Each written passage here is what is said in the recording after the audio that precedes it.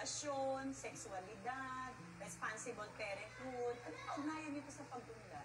Alam niyo ba, ang mga konseptong ito ay magkakaugnay. Ito ay nakakatulong sa pagpapaunlad ng bawat individual at pagsulong ng ekonomiya at katiwasayan ng ekonomiya. Oo, Sir Jonathan, tama ka dyan kasi yung uh, responsible parenthood at sexualidad ay mga desisyong ginagawa ng tao sa individual na level.